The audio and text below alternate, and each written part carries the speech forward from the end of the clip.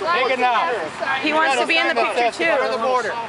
I'm 70 Don't touch my sign. No, I don't, don't get it. I'm just walking here. Okay, now, we're, He wants to. He wants to stand what we've there. got to He hand doesn't have the right to stand there. Of course he does. I thought you guys are all for America. We are going to hand out our, this is, these are postcards that you can fill out. They've been stamped. Is it? Yeah. And then you're going to just put your name and the Congress member's name on the postcard. I'm So- gonna be walking real slow back to my car down here, okay? So someone's gonna protect me. On. Here, come get postcards. I'm gonna walk real slow to my car over here. Real slow. Um, these are already If you got stamped. names, you can check on here. Sitting in front of this jail. These are already stamped. Jeez, you belong in jail, And, uh, punk. You know, I'm just down with uh, proud, proud citizen. Great. Great. Can I get one? Can I get one?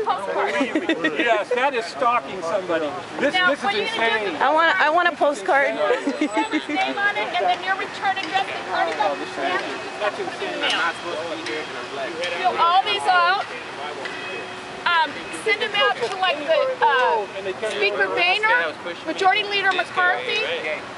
They've got the stamps on it. All you gotta do is My question is, uh, I'll get as many as you want. I would say most of these people cannot trace their ancestry to this continent before 1492. So who's the real illegals? Who's the real ille- Oh my gosh. Who's the real illegal? Who's the real illegal? When is the Mayflower coming to pick them all up?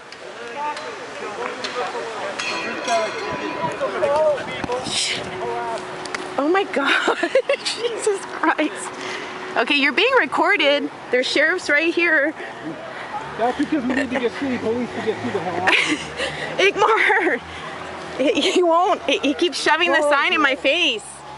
Please. Leave us alone. Go somewhere else and Touch protest. me, touch me with a sign. I will. Go away, Zora. Touch me with a sign. I will file a Yeah, I'm gonna file. You know what?